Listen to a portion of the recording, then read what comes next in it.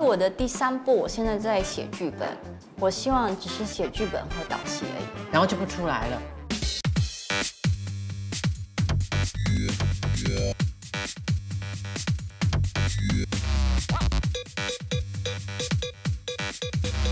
全听你说。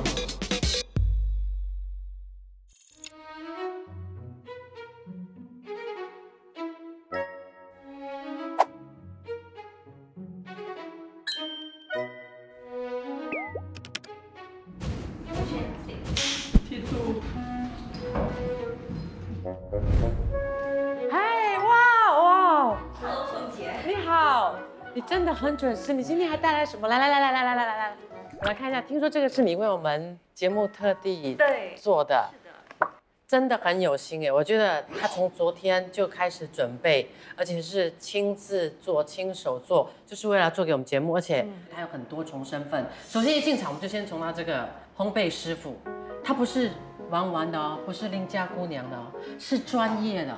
嗯，你还特地为了这个喜去好去泰国。嗯对，还拿了一个日本，泰国、日本拿了一个什么蓝带的课程，在烘焙界来讲的话，它是一个非常专业的一个文凭吧，嗯，所以我就叫你甜点师傅。可以啊。在泰国学的这个蓝带的甜点师傅，为我们亲自现场来做这个，所以呢，待会你会请我们现场所有的人吃，可以啊，当然一。定要今天吃完，因为蛋糕是不可以放隔天的。最好是大家喜欢就可以吃完。哦，我们是很老实的，我们是很老实的，好吃不好吃我们一定会写在脸上的。最重要是什么开始引起你这个兴趣？从一个这么漂亮的女演员，然后下厨去做这个烘焙点心，因为我一直觉得烘焙是一个可以让我放松自己的一个事情，然后就是在拍戏的时候，觉得很大的压力的时候，我就会在家里就是做一些小样的东西，简单的。炒一个糖醋排骨？我比较喜欢 其实下厨我不是非常有兴趣，哦，差很多啊！差很多。对我来说，你喜欢吃甜品是吧？我喜欢。让女孩子很减压，嗯然后出来的感觉很舒服。对，然后就是在去片场的时候，大家喜欢吃的时候，那种开心和快乐是不一样的。因为之前都是自己学嘛，然后可能上网看 YouTube 啊或者什么，就是学或者是看书，所以我也不知道我做的技巧对不对，所以我就想上课，就是学专业的。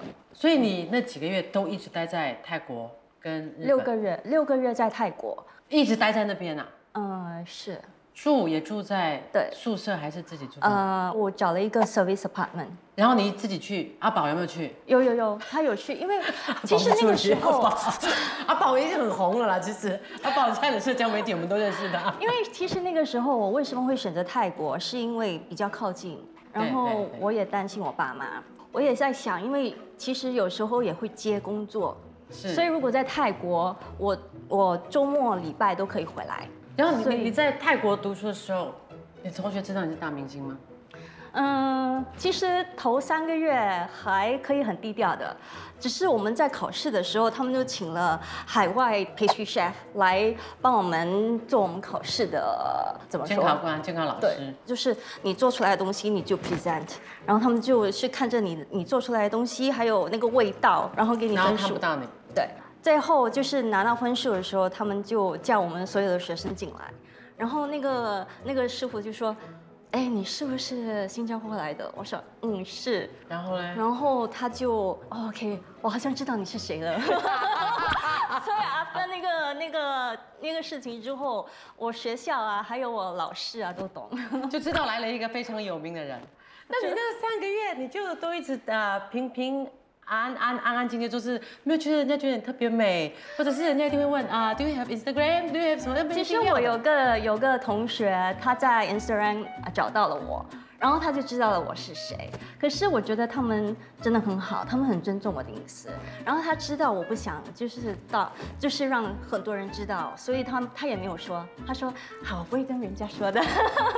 他所以我觉得他们很尊重就是别人的隐私，然后他们也会很顾虑到我的感受，因为就是全校知道了之后，我的同学最后会来跟我说，哎，其实你介不介意我们一直在讨论你？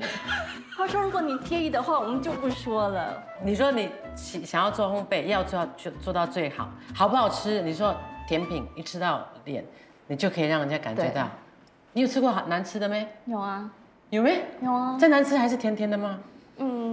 那个味道啊，还有你吃的时候，你会感觉到他们用的那些嗯材料是不是好，你都可以出吃出那个味道的。OK，因为我是会吃甜品，但是我可能没有你这么厉害。我自己有访问过几个烘焙师傅，他们的工都很细，所以我觉得你是第一个跨界演员跨界出去最成功，成为一个专业的烘焙师傅。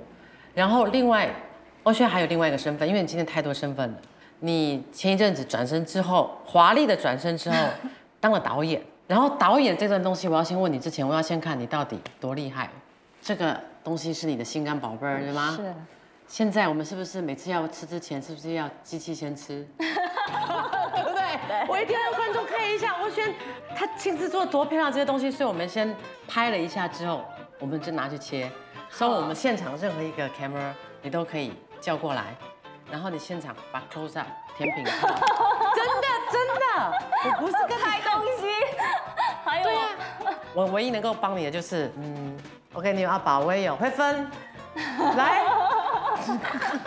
来，Q，我们有道具给你，然后你要我们摄影师哪一个拍，哪一个角度拍，然后你就要做导演的本色给我看啊，使出导演本色，Come on，来，我也会做导演，我也做过的，OK，你要哪一个 cameraman？都可以，都可以。你看威廉嘛，威廉我帮你喊，好威廉威廉我牺牲我的，因为他是我的 close up。OK 啊，你继续拍他的 close up 啦。OK，外秀外秀外秀，stay。OK，你拿起来，然后你要铺什么吗？你的哎呦，手手手，你的手指怎么了？你手指？我昨天割到，哦，我们的那个蛋糕跟到，我等一下怎么可以很犀利的问你？你要问你要哪一个？嗯，我导演，你看导演进入在思索的这个吧。OK，好，所以本来就是这样，是我放错。这个这个太太大了。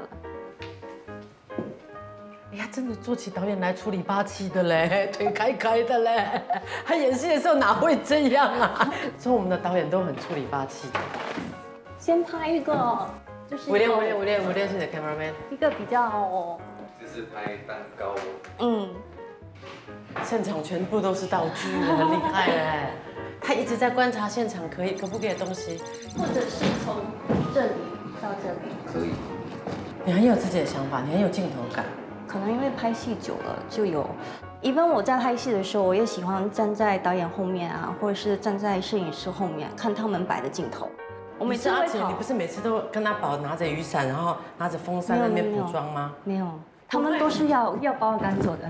然后你就要，我就站在那边看看导演摆什么镜头，导演在哦。所以你都会去学习这些，你从以前就已经很喜欢这些。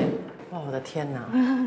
他阿宝他这么难照顾啊，这么好动啊，人家家休息他还跑去后面，很累耶。这个这个好看。哎呀喜欢这个啊谢谢你对，可以可以剪一集吗？谢谢威廉，谢谢，谢谢谢辛苦了我们顺便请那个阿宝跟啊慧慧芬，我们把这个真的是现场切一下哦。然后我们你们切好随时就送进来，因为所有工作人员都应该要吃到。这个是哎我的天哪，欧轩的亲手的作品，同时还是人家去国外学来的，所以你这个当导演啊、第一部微电影你就入围了一个非常重要的一个国际影展，总共有一百三十个国家参赛，然后有一万多部的电影，然后选出两百五十部，你就是其中一部，而且是你的处女作。你当时的感受是怎么样？很复杂，因为其实那个时候我已经报名参加了很多的电影节，一一被拒绝了。然后可能就是国外 European style 的那种感觉，可能不适合为微电影。然后结果这个东京电影节就是联络上我的时候，说他们选选选择了我的微电影，我那个时候是哭的。终于被接受了啊！所以你那一部电影最重要的是在讲述的什么？我的微电影是叫做记忆，对对？对，是一个真实故事，是我干妈她患有 Alzheimer's 的的那个阶段，然后其实对我来说是一个挺挺难，就是又挖起以前的回忆的一个。多久？那个时候距离你干妈呃已经有十年了。十年再重新挖一次那个你的心路历程。对，然后其实我跟我干妈的感情都非常的好，所以一想到以前的那些回忆，我还是会有点触动，会会有点难过。然后在写剧本的时候，我还记得刚刚开始写的时候，我也一直在哭，呀，你过不去。因为因为我需要再看回他以前写过，就是给我写过的信，然后就又要想起以前的回忆，然后我一一把它写下来。因为对我来说，写剧本是一个我很有兴趣的东西，可是想要写好第一步，我觉得说从我自己的一一个经历来写会比较比较好，因为真的那个故事都存在。你写了多久？那个剧本你酝酿多久？有几个月吧，写了又修改，写了又修改，然后之后就觉得说，好像慢慢慢慢能够控制自己的情绪，改到最后就没有再落泪了。在找我的组合、我的 team 的时候，我就跟他们先开个会，跟他们说我这个微电影的感觉是怎么样的，所以很仔细、很仔细的跟他们说我要什么东西。我记得拍最后一场戏的时候，就是我干妈去世的那场戏。拍到那场戏的时候，我一直哭的不停。我看你不止那一天不行，我看你前一天应该都已经是不行了那个时候我又要当演员，又要当导演，啊啊啊！OK 我觉得好像有一个 right and left brain 在在斗一样，又要很理智的，就是站在一边看我的表演，嗯然后在进入状况的时候，你那个情绪又来的时候，又很难去控制。那怎么演嘞？你当场？所以我那个时候我真的是一直在流泪，还好我的 cameraman，其实我我们都已经开会了，然后我觉得我们的默契有也也存在的，所以他就问我，OK，你下个镜头是怎么样？我还一直流泪，嗯，我你要我你给我一个 l o a 够在这里，他说 OK OK，马上马上，我还是还一直在哭，对，你太专业了吧？就是你哭到一半的时候，刚才威廉威廉可以吗？威廉威廉我说了，是是这样的一个情绪是，因为这个帅已经拍完了吗？他就要问我下一个镜头要怎么摆，我要什么镜头。所以所以你就自己这样子熬过来那个，那其他的演员呢？那个时候就我们两个那场戏就两个演员，我和英珠姐。啊啊，朱英姐，我也讲朱英姐，英珠姐，英珠姐演你的妈妈。然后她是老演员嘛，你除了讲镜头以外，你会去导戏吗？会啊，我会跟她讲，我剪完片的时候我就请她上来看，她看的时候她也哭了。我还记得我们在片场，我们要录 VO，然后她要录我干妈说的一句话，她录到一半她也哭了，没办法录下去，直到他的情绪平复下来，他就说我们再来录一个。当导演，你觉得最大最大的难度挑战是什么？导演呢？嗯其实我觉得导演需要很强的沟通能力，跟演员、跟剧组，他们一定要很清晰的，就是表达自己想要的东西。，对，这跟演员身份很不一样。演员嗯以前是通过助导，就或者是你的助理来告诉你明天十二场戏，下一场戏是什么，是被动。演员是完全被动，是只要投入在角色跟剧本就算了。嗯，你居然可以跳出来，活生生的跟人家去，其实我也挺幸运啦，当演员的时候，因为导演呢都很愿意跟我沟通，加上如果我有什么想法，他们也都愿意跟我，就是听我有什么 input。导演另外一个要碰到的难题，就是因为我知道第一部戏是欧轩自己独资，就是自己投资自己。嗯，你觉得你自己那时候在设立这个平台，跟你要做导演的时候，他是不是在这个金钱方面也也有困难度？那找钱很难。怎怎样呢？因为我其实就是从零开始，我会去问搞制作的人，他们怎么样做一做一部戏，然后我就会去找 investors，看他们愿不愿意投钱。他们通常都会，当然投啊。通常他们会问 What are my returns？可是你一部微电影是不会有 returns 的，因为我不可能像一个 feature film 放上电影，然后卖票，然后可能给你怎样多少钱怎样的。也是啊，为什么呢？对啊，对啊，嗯，因为嗯可能只是参展啊，或者是参赛啊，是是，对，所以有些人就是说好啊好啊，我们约出来见面，好像很有兴趣那样。然后跟他们讲了之后，他们就说哦，actually 今天只是一个 friendly meeting。他说嗯，浪费了我几个钟头的时间。最后他们的目的是，那见我而已啊。对啊，你碰过几次类似这样的？蛮多。的，蛮多的。然后找到一间公司，他们很愿意 sponsor，他们最最后跟我讲，我给你一个 product，你去卖，那个钱是你的。我干嘛要你的 product 啊？对，所以这些东西你一见到人就一直在讲故事，见到人一直在讲，嗯，你从就一直尝试，就一直尝试。那我觉得说那个对我是好的，一个学习的过程。如果艺术艺术家跟商业要结合的话，你就会宁愿弃抛弃那些比较商业利益的，你想要 branding 一个真的是艺术家的一个空间。那是我的第一步，第一步很重要。所以最后你自己掏这腰包 pocket money 过去，你也知道这然后有不会有回本的。些说他们也愿意 sponsor 就是 products，然后再加可能一点现金，一定要有 product placement。那我就说，可是你的 product 不适合我的微电影，我也没有办法把它硬硬的塞进去。然后我的微电影最多也是二十分钟，二十二十五分钟。然后我把它放放进去了之后，我我电影看什么？你会觉得差很多哦，因为当艺人的时候，一个 posting 就几千块，你要当导演的时候啊，为了几百块啊，然后人家叫你放这个放那个，你又要想东想西的，嗯，就是整个身份跟看法完全不一样。是完全不一样。你你的这个社交媒体是呃导演这边完了对吗？可以先吃蛋糕。可以可以。我们蛋糕了，我们先吃看看。我们要不要现场也吃看看？我们大家吃看看好不好？这个是因为不能放太久，人家敖轩昨天晚上特地做亲手做，我相信一定羡慕死很多人。嗯，你看看。我懂你说什么了，你的 cheese 好香哦，然后柠檬酸酸甜甜，这个是你最拿手的吗？因为我第一次做，我其实在陷害我自己，懂吗？如果我这个失败了，就是失败了。我觉得会想一个 recipe 想很久，脑海里面想很久。我如果配这个配你可以拿这个配这个，出卖，很 rich，好像都很好的东西，就是很很丰富啊，不是很 cheap 的，是很贵的。你看我可以吃这么大口，里面的那个 blueberry jam 也是我自己做的。你们吃看看，这个学费值得去浪费。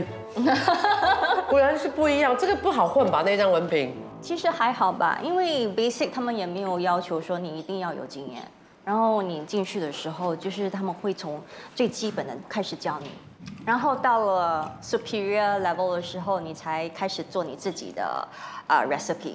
对吗？真的很好吃，很扎实，很扎实。我就说很贵的一个蛋糕，你可以感觉到，就是它它不是一个普通的蛋糕。嗯。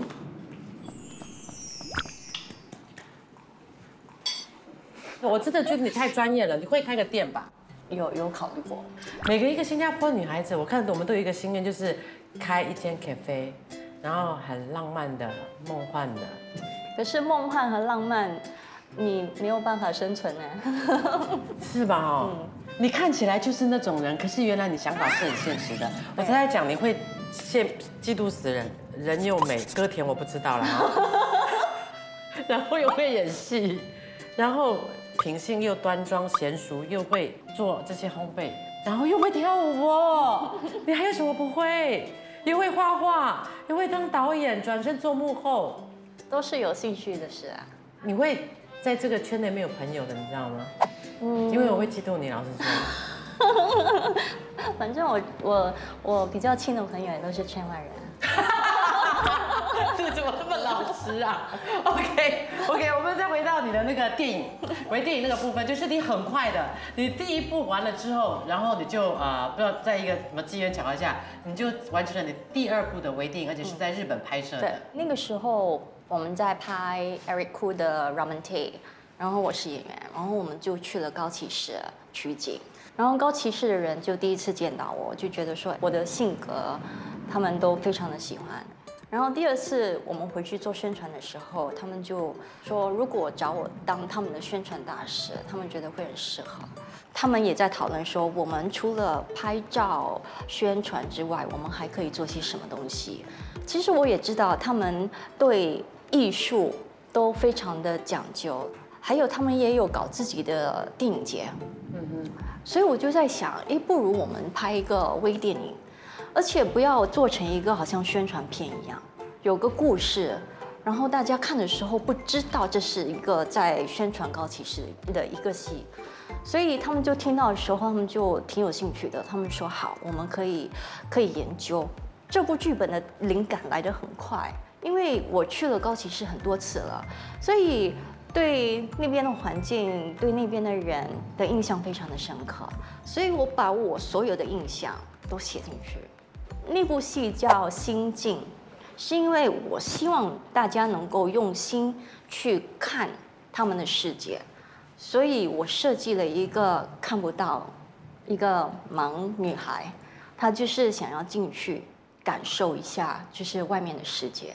而且我在那边还听到他们讲说，第一次有看到一位艺人可以写，还可以拍这么好的一个剧本。他对你的赞赏有加，非常非常的青睐你，而且非常欣赏你。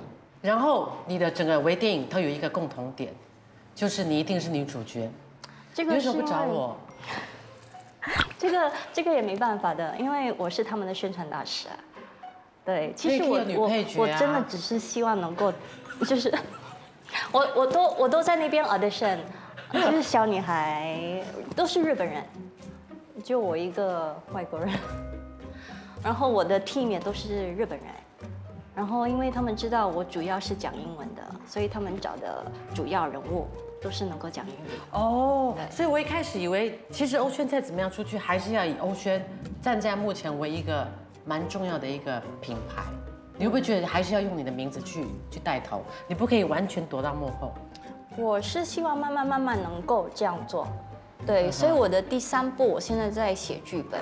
我希望只是写剧本和导戏而已，然后就不出来了，然后就选择性的选剧本演，然后自己的戏自己不出来，嗯，就是希望有一天就是看到这个导演、监制、出作品人，嗯，啊，欧轩，嗯，你就想要有那个那那方面的满足感，跟看到节奏、看到那个色彩，就会想到是你，对，OK，嗯，然后你第三个身份就让我很惊讶，你华丽的转身，另外一个身份是。你成为了一个网红，那你觉得你会什么时候离开？我说我会在最高峰的时候离开。然 后他就跟我说，赢不重要，是你怎么输才漂亮。我其实太直接了，所以我就圈内没有朋友。